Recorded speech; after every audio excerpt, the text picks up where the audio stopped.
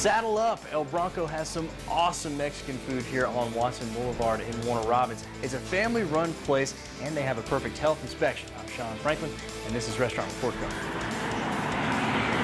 It's maybe not a horse, but it's, I mean, yeah, the next best thing I would guess. El Bronco has the name of a horse, mean, we really do pour our heart and soul into everything that we do here. but it's got the heart and soul of a family. We feel like family because they've been like that ever since we started coming here. Come on.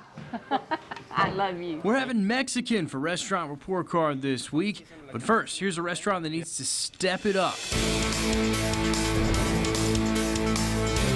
Huddle House, 208 Roberson Mill Road, scored a 62.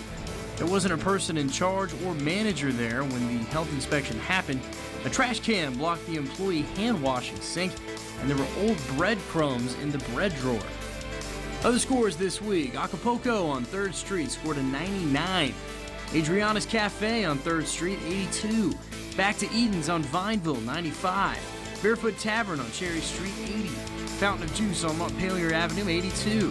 Good to Go on Riverside Drive, 96. Harpins on Brookdale Avenue, 99. Logan's Roadhouse on Arkwright Road, 90. Margaritas at Mercer Village on Montpelier Avenue, 87. Ribbons Cafe on First Street, 91.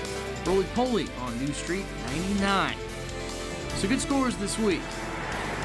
The You love always give me a hug before I leave.